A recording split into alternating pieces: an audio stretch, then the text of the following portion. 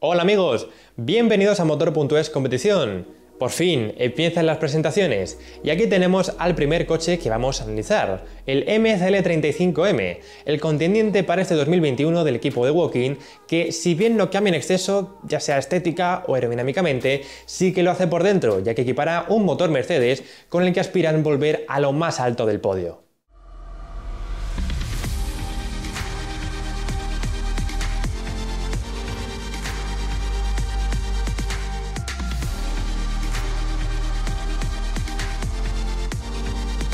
Aunque la reglamentación de este año limita el desarrollo de muchos elementos mecánicos por culpa de ese plan de contingencia contra el COVID-19, en 2021 sigue habiendo libertad de evolución aerodinámica, por lo que en un primer momento se esperaba que McLaren presentara el coche más diferenciado de su predecesor para este 2021, ya que como decimos es el único que debía cambiar de motor. Por el momento desconocemos si los de Walking tienen algún paquete aerodinámico extra preparado para el inicio de temporada, pero lo cierto es que el MCL35M que se ha presentado es en esencia un coche 2020 repintado y adaptado a las modificaciones de 2021, ya sabéis, en el suelo, en los conductores de freno y en el difusor. No obstante, gracias a nuestro compañero David Plaza, pues vamos a ver cuál es este análisis técnico del MCL 35M, que si bien no cambia en exceso, como decíamos, aerodinámicamente, sí que tiene adaptaciones importantes por culpa de ese motor Mercedes. Comenzando por lo obvio, la decoración de McLaren continúa con la senda iniciada en 2019 y mantiene el naranja papaya combinado con el negro y el azul, que tan buen resultado le han dado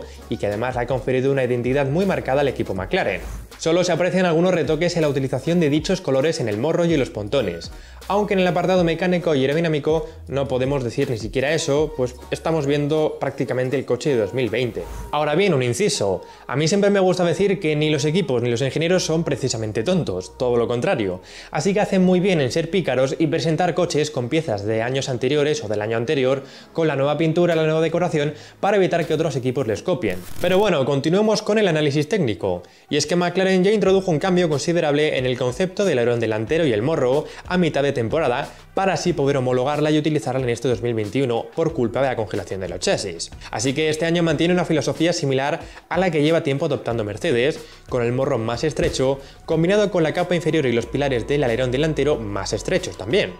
Igualmente se mantiene el diseño de alerón con efecto hot wash muy pronunciado para así reducir las turbulencias y el drag generado por el neumático delantero. Incluso las suspensiones son las mismas que en 2020, tanto en lo que respecta a la geometría como en la relativo a la posición de los anclajes al chasis y al buje. Avanzando hacia la parte trasera, vemos que la zona de los valspos y deflectores laterales también es la misma que acabó en 2020, aunque las imágenes de la presentación en vivo, no las de estudio, ya se apreciaron cambios en esta zona. Y ahora sí que sí, vamos a comentar los cambios, que como decimos derivan principalmente de la adaptación al motor Mercedes. Uno de los cambios lo encontramos en la zona del halo y otro en la toma de admisión. En el primer caso vemos como McLaren ha esculpido la parte final del anclaje del halo con una protuberancia que tiene el objetivo de moldear el flujo aerodinámico resultante a su paso por el arco de protección y que se dirige hacia el alerón trasero. De igual modo, vemos cómo la toma del motor cambia por completo para asemejarse a la del Mercedes W11 del año pasado. Algo lógico porque cada motorista demanda unas necesidades de refrigeración en función de la colocación que tienen de los elementos del motor. No es de extrañar, por tanto, que la forma general de esta zona sea más bien parecida a la del Mercedes del año pasado, con un pontón más agresivo que esculpe más su entrada, como vemos con las líneas verdes, extrema su caída con las líneas blancas, e incorpora una hendidura en la parte superior con las líneas rojas. Ese modo se busca generar más carga y acelerar el flujo aerodinámico a través de una mayor caída y potenciación de los puntos de encuentro.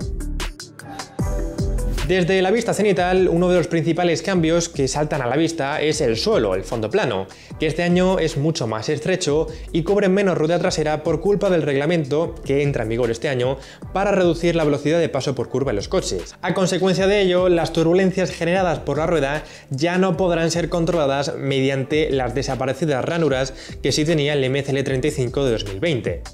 Y finalizando, en cuanto a la parte trasera, este McLaren de 2021 incorpora cortes tipo Haas en la parte suspendida de la mitad superior de los emplex del alerón trasero, lo que supone un cambio claro de concepto en relación a la temporada 2020. En definitiva, técnicamente no se puede comentar mucho más de este MSL35M. En la mitad delantera, McLaren ha continuado con la tendencia ya iniciada el año pasado y en la trasera pues han hecho las oportunas modificaciones para adaptar el motor Mercedes a su chasis. Y hablando de Mercedes, Una de las dudas que he estado viendo más generalizadas en las últimas horas en redes sociales tienen que ver con el hecho de por qué no observamos ninguna pegatina o distintivo de Mercedes, ya sea en la ropa del equipo o en el propio coche, como si pasaba con Renault o como si pasaba en el pasado con Mercedes. Bien, esto es primero porque el acuerdo que han alcanzado tanto McLaren como Mercedes para unir fuerzas eh, no es de marketing, sino es estrictamente deportivo. En el fondo son rivales en pista. Y luego por otro lado, eh, McLaren tiene apoyo de Mercedes Powertrains, que es la división de motores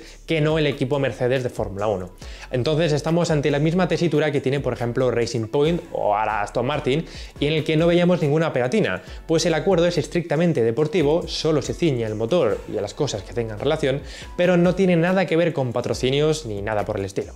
Y hasta aquí ha llegado nuestro análisis técnico de este MCL35M, un coche en el que personalmente tengo puestas grandes esperanzas para ver qué son capaces de hacer en este 2021, ya que viendo lo que hicieron el año pasado, pues el motor Mercedes es un plus y además Carlos Sainz, aunque se haya ido, pues tiene un reemplazo que para mí es excelente como es el de Daniel Ricardo. Veremos qué son capaces de hacer y lo veremos este año en motor.es. Un saludo y hasta la próxima. Adiós.